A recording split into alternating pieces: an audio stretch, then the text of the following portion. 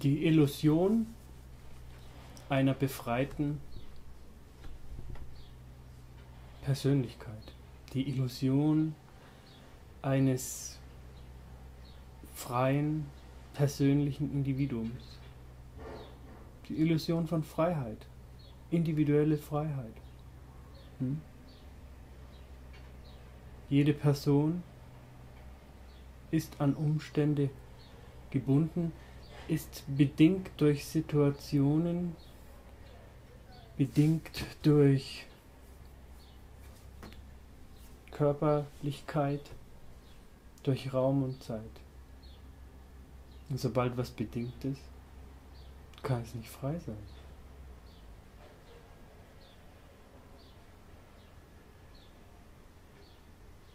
Und die Idee, dass es äh, da irgendjemand mal gegeben hat oder dass es irgendwo eine Person gibt, die frei sein würde, weil sie erleuchtet ist oder ähm, genug finanzielle Mittel hat, um sich ihre Wünsche zu erfüllen,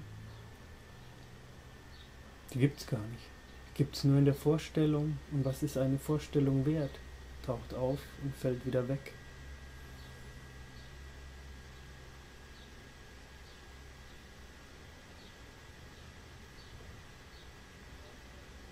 Nun,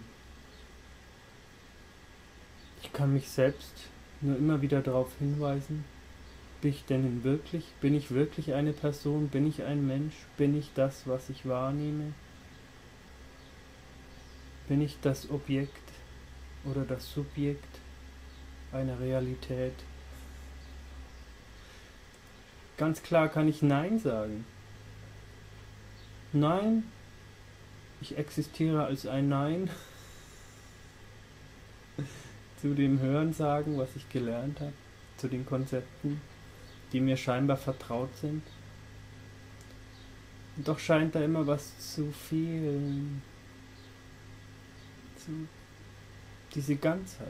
Als Person lebt sich's immer wie in einer Trennung. Ich und die anderen, ich und meine Beziehungen,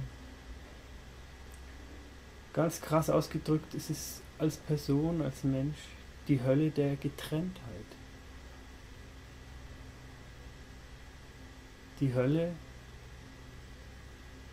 jemand zu sein, der getrennt ist von der Quelle, von dem, was wirklich wahr ist, dem, was ist. Als Person ist man immer in einem Handel, Entweder hat man Angst, man wird überwältigt von anderen, muss sich schützen.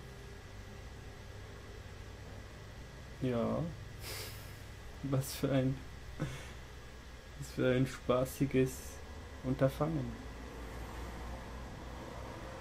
Oder ziemlich leidvoll. Ja.